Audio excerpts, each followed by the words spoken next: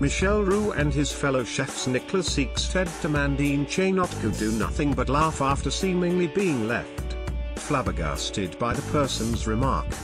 Let's go back to the phones please. Our next caller is Richard from Enfield. What's your question please? The 57-year-old host started. The segment had started off with advice on how to cook artichoke hearts. However the second wasn't quite so challenging. Hello. Oh hi there Michel, I've got some haricot beans and I'm looking for a recipe for beans on toast please. Richard said. The studio then broke into laughter, with special guest Mellor and wine expert Olly Smith also left amused. Haricot beans. Amandine, all yours, Michel passed it on, and she was more than happy to make a few suggestions. It's finally happened. A caller on hashtag Saturday Kitchen has asked how to make beans on toast. One tweet read. A second went on, are these callers taking the pee? Hashtag Saturday Kitchen, perplexed by Richard's struggles. Which one of you just phoned in for the beans on toast recipe with haricot beans?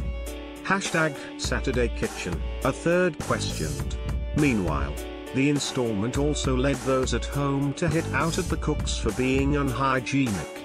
Michel was forced to remind them to wash their hands mid-recipe, leaving fans concerned about food poisoning. That chicken slash fish dish was seriously unhygienically made on hashtag Saturday Kitchen. Who is going to get food poisoning first?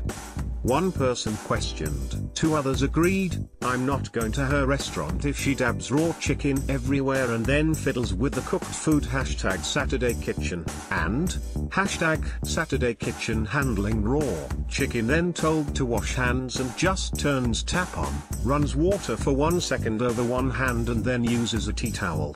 Glad I'm not sharing the food poisoning later. Writer Kay also spoke about her new series Girlfriends as well as Fat Friends the musical during her appearance. Saturday Kitchen continues next weekend at 10 am on BBC.